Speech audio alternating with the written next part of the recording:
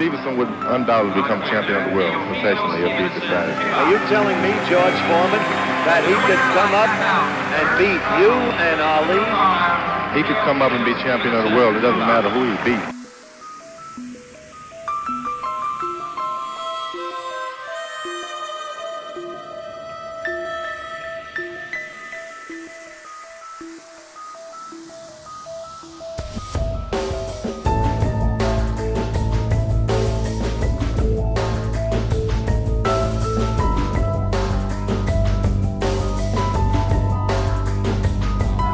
Midway of the round, down goes Biggs. Conor with a chopping right again.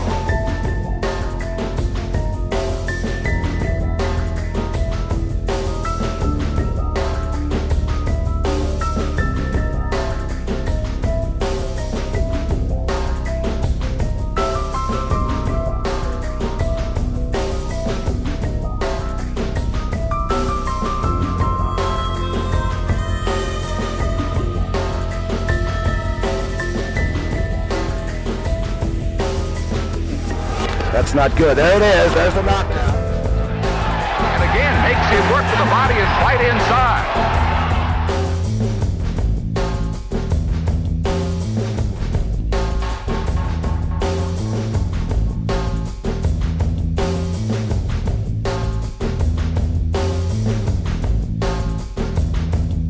Wide open for Stevenson. He's just ga- Oh, there's one, man.